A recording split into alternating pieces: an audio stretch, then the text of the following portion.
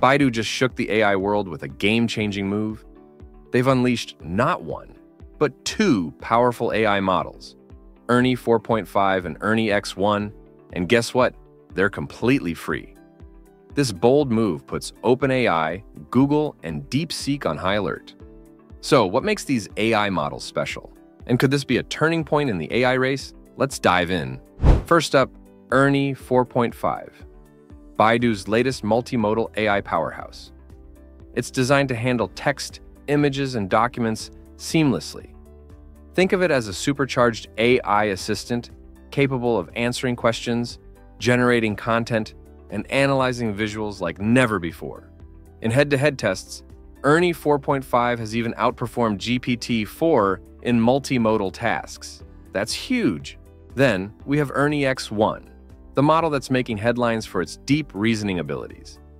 This AI has outperformed GPT 4.5 in math benchmarks, proving that Baidu isn't just playing catch-up.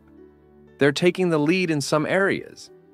Imagine an AI that can solve complex problems, reason through data, and give incredibly accurate answers. That's Ernie X1. But why is Baidu making these models free? It's simple accessibility, innovation, and competition. By offering Ernie 4.5 and Ernie X1 at zero cost, Baidu is directly challenging OpenAI, Google, and even DeepSeek. They want to dominate the AI space, and this strategy is shaking up the industry. This move also puts pressure on other tech giants like Tencent and ByteDance. With Baidu leading the charge, will we see more companies making their AI models free?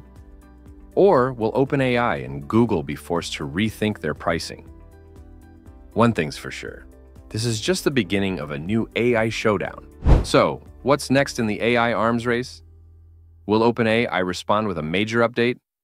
Could Baidu's free AI spark a revolution in AI accessibility? Let us know your thoughts in the comments. And if you love cutting-edge AI updates, don't forget to like, subscribe, and hit the bell icon for more. Stay curious, stay ahead. This is Future Lens, bringing you the latest in AI. See you in the next one.